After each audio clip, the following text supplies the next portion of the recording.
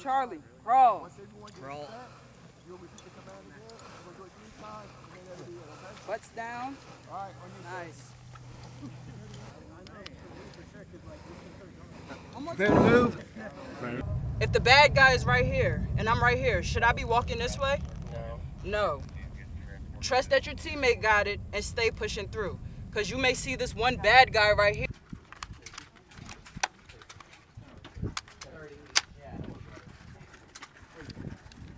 All of you, that person's not going to win. So we're going to maintain a vigil on that person. All right. He did not want her to talk to. him. He has a weapon.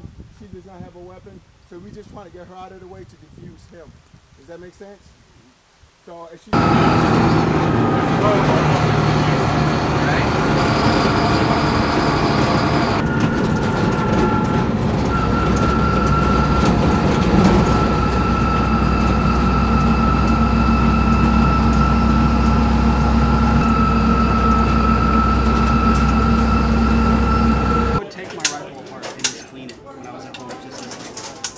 they're watching TV or something. Just fucking something to do with it.